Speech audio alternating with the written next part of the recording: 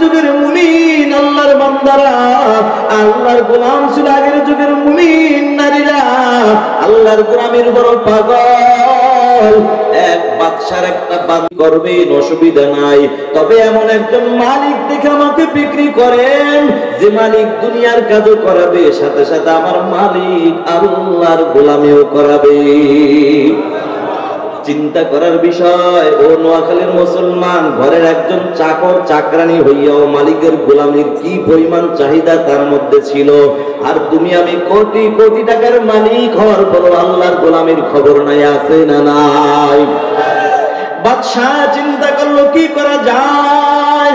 আমার এই বান্দির মনের আশা যদি পূরণ করতে হয় খাঁটি আল্লাহওয়ালা একজন আল্লাহর খাঁটি বান্দা দেখে তাকে বিক্রি করতে হবে। আল্লাহর বান্দা বাদশাহ চিন্তা করল, কি করা যায়? আমাদের হক্কানি একজন আলেম আছে, বড় বুজুর্গ আল্লাহওয়ালা। দেখি আল্লাহওয়ালা বুজুর্গ আলেমের কাছে বিক্রি করা যায় কিনা? বাদশাহ আল্লাহওয়ালা আলেমের কাছে হাজির। ডাক দিয়া বলো, "ও আল্লাহর ওলি আপনার কাছে আমার এই সুন্দরী রূপসী এই বান্দিটাকে বিক্রি করতে চাই। ক্রয় করবেন কিনা? আল্লাহ আলম ডাক দিয়া বাদশাহ, বিক্রি করবা? হা আমি ক্রয় করব। বলো, মূল্য কত? হুজুর, আপনি আলেম মানুষ, যা দিবেন আমি খুশি হইয়া তাই নেব আলেমকে কদর করেছেন। আল্লাহওয়ালা আলেম ডাক দিয়া কাউ শুনে তোমার এই সুন্দরী নারীটাকে যদি বিক্রি করতে চাও, এটার মূল্য আমার কাছে পাইবা একটা খেজুরের বিচি, কন্যা আল্লাহ আকবার। বাদশার মাথা গরম। বাদশাহ কয়, কিরে, মনে করছিলাম মাদ্রাসায় যারা পড়ে, এদের মাথায় বুদ্ধি আছে। এখন দেখি না না, মাদ্রাসায় পড়ুয়া আলমদের মাথায় বুদ্ধি নাই। এই দুনিয়াদার ভালো করে শুনে নাও। তোমরা যারা জেনারেল লাইনে পড়াশোনা করিয়া দুনিয়ায় যা- দুনিয়ার জাগতিক শিক্ষায় শিক্ষিত হইয়া আজকে বড় সরকারি চাকরি করো। এক লক্ষ টাকা বেতন পাও, ডান হাতে কামাও এক লাখ, বাম হাতে এক লাখ, আবার টেবিলের নিচ দিয়েও কামাও দুই লাখ। আছে না নাই? আজকে তোমরা মনে মাসে পাঁচ লক্ষ টাকা ইনকাম করো। শুধুমাত্র ইংরেজি শেখার এই জন্য মাদ্রাসার আলেমদেরকে ছোট নজরে দেখো। মনে করো মাদ্রাসায় বইরা লাভ কি? মনে হয় পাঁচ হাজার টাকা বেতন পায়। মসজিদের ইমাম পাঁচ হাজার টাকা বেতন পায়। এদের তো কোনো আসলে শান্তি নাই।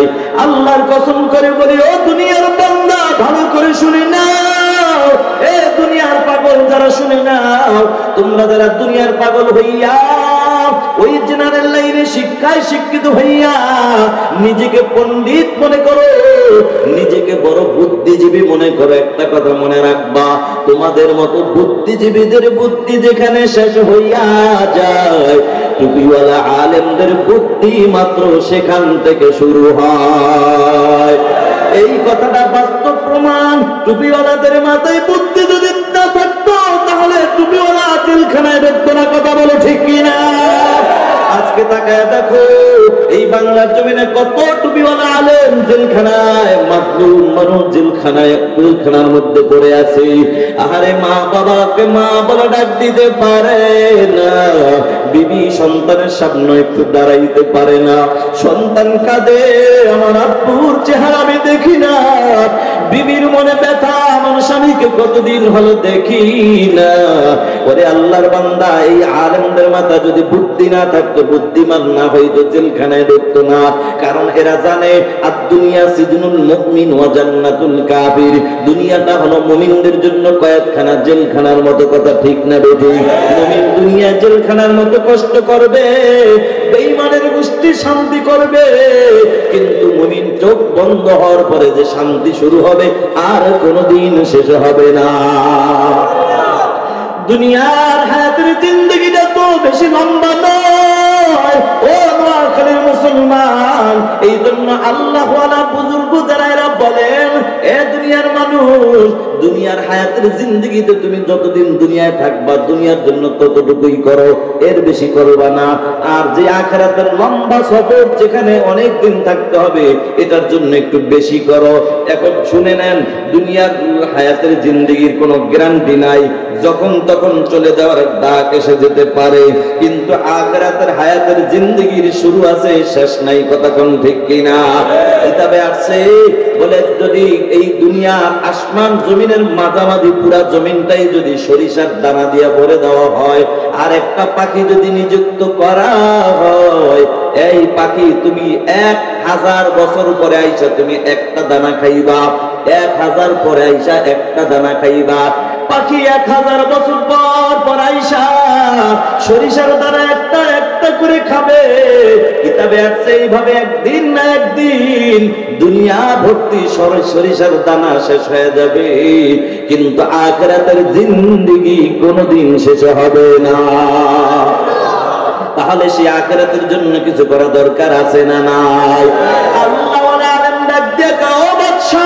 ভালো করে শুনে তোমার এই বান্দিটাকে যদি বিক্রি করতে চাও, এটার মূল্য পাইবা তুমি আমার কাছে একটা খেজুরের বিচি। বাদশার মাথা গরম। মনে করছিলাম মাদ্রাসায় পয়রা বুঝে আপনাদের মাথায় কিছু বুদ্ধি ঢুকছে। এখন দেখি নাই, বুদ্ধি নাই। আল্লাহ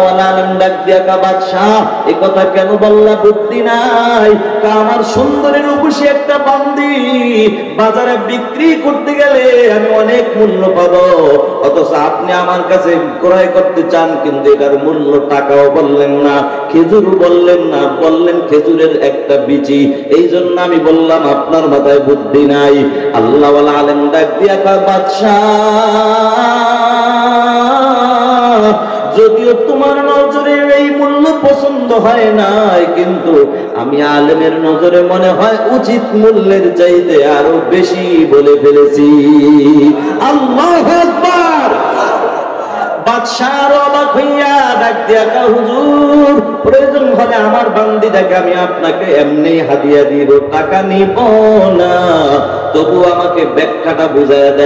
উচিত মূল্যের চাইতে বেশি বলছেন, এই ব্যাখ্যাটা আমাকে ভালো করে বুঝাইয়া দেন। আল্লাহ বলা আলেমের মাথায় এটা বুঝাইয়া দেওয়ার মতো জ্ঞান বুদ্ধি আছে না নাই? এই, তোমরা কি মনে করো, টুপিওয়ালাদের মাথায় বুদ্ধি আছে না নাই? তোমাদের টুপি ছাড়া আল্লাহর বান্দা, যারা ইংরেজি পড়তে পড়তে পড়তে পড়তে বুদ্ধি জ্ঞান অর্জন করতে করতে নাম রাখছো বুদ্ধিজীবী, অথচ মাথা পুরা স্টেডিয়াম বানায় ফেলাইছো। তোমাদের মতো বুদ্ধিজীবীদের যেখানে বুদ্ধি শেষ, আল্লাহওয়ালা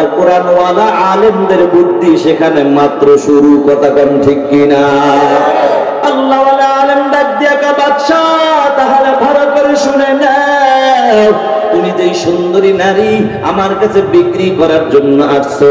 তোমার এই সুন্দরী নারী শরীরটা যদি ঘামাইয়া যায় বলো বাদশাহী নারীর শরীর থেকে একটা দুর্গন্ধ আসবে কিনা বলে, হা, আসবে। বলে, ও বাদশাহ, শুনে নাও আর একটু ভিতরে যাই। তোমার এই সুন্দরী নারী যদি একদিন ঘুম থেকে উঠে ব্রাশ না করে, বলো বাচ্চা তোমার এই বান্দির মুখের থেকে দুর্গন্ধ আসবে কি আসবে না? বলে, হা, আসবে। এরপর আর একটু ভিতরে যাই। ও বাচ্চা বান্দির পেটের মধ্যে একটা পায়খানা প্রস্রাবের থলি আছে না নাই? বলে হ্যাঁ আছে। বলে আর একটু নিচে যাই। এই সুন্দরী রূপসী নারীর পেটের মধ্যে পচা গান্দা একটা রক্ত আছে না নাই? বলে হ্যাঁ আছে। আল্লাহ আলম ডাক দিয়ে বাদশাহ। তোমার এই পচা গান্ডার নারীকে ক্রয় করতে যাইয়া আমি একটা খেজুরের বিচি বলেছি, পছন্দ হয় নাই। অথচ এই খেজুরের বিচিটা জোগাড় করতে যেই পরিমাণ সময় আমার লাগবে, এই পরিমাণ সময়ে যদি আমি আমার মালিক আল্লাহর নামের জিকির করে করে করে করে যদি কাটাইয়াতে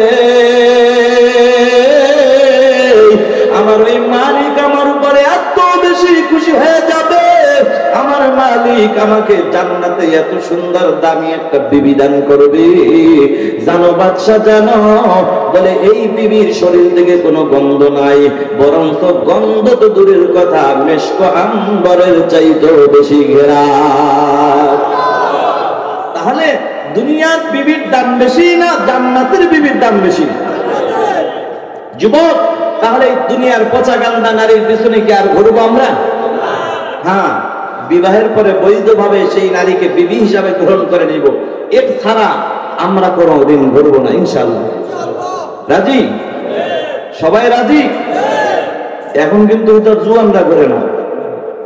হেরাও কিন্তু করে। আল্লাহ হেফাজত করে বলেন, আমিন।